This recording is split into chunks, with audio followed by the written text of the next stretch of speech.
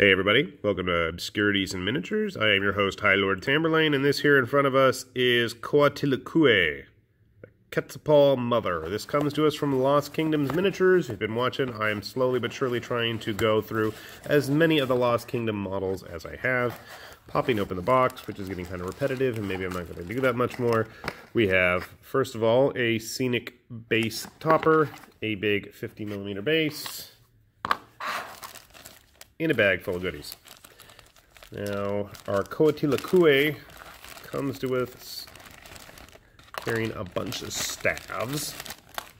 And actually, she has a, quite a few bags. That's a first, because most of these figures I built, I guess she has a lot of little delicate parts. So she's got this big old banner staff thing that she's waving over her head, and along with a very fancy looking spear.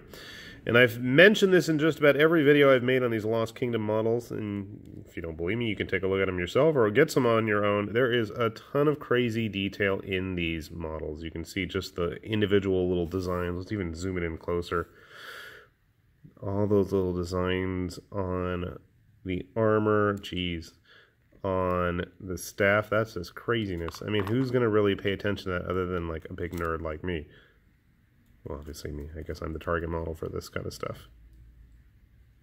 So if you're into painting elaborate, intricate armor details, I guess this is the kit for you. see if we can get that in focus, maybe? There we go. So these models do need a bit of cleanup. So just be aware, you're going to have a lot of work ahead of you to get them ready. Not that it's super difficult stuff to clean, but, you know, just bears mentioning. All right, what do we got in here? It looks like the body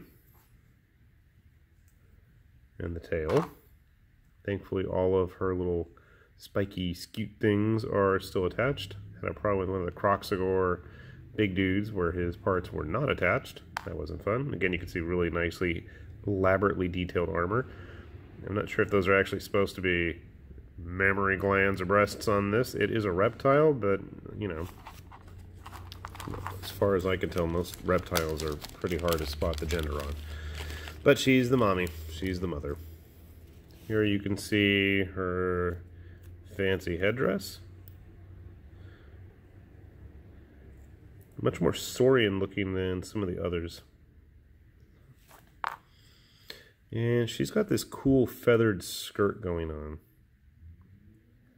Thankfully, it's not a phallic skirt like some of our Kingdom Death models. That's what I first thought when I saw it, but, you know, being the mother, hey, why not? Might be appropriate.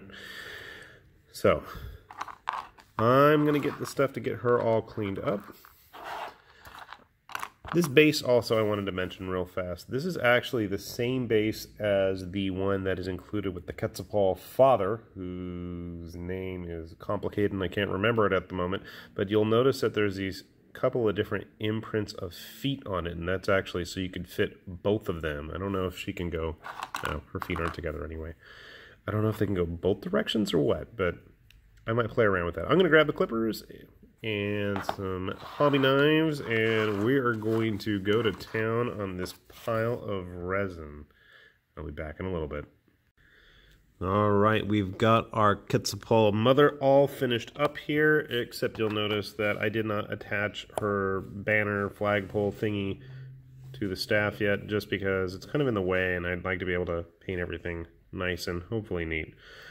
I also didn't bother attaching the spearhead or the mother yet. Sorry, Coatlicue. Alright, so how does she compare to some of the other models from the Lost Kingdoms line? So as we said earlier, she's on a 50 millimeter base. And just like she's the mother, well, here's the happy father. So pretty similar in size. Um, obviously, they're going to be nowhere near as big as Tlaloc here. Grabbing our standard lizard man you know, obviously he's going to be dwarfed by them. You probably could squeeze this onto a 40 millimeter base, use them as proxy Kroxigors if you want. Um, grabbing our other friend here, the Heart Eater dude, he's about the same size. So whatever variation of lizard men they are, using the Temple Guard. Oh, Temple Guard as well. They're big models, but I think especially if you're going to get creative, maybe not in a Warhammer game necessarily, but in like a Kings of War game or some other mass battle or Ninth Age or whatever it is you do, you might be able to find a good use for these guys. So I know they actually had a little thing even on the box about being compatible with Ninth Age, so might be a good choice. Anyway, this is the Mother Coatlicue. I am High Lord Tamberlane. This is Obscurities in Miniatures, and now it's the time for me to say goodbye. Check out the stuff from Lost Kingdom on their website, and we'll see you all later.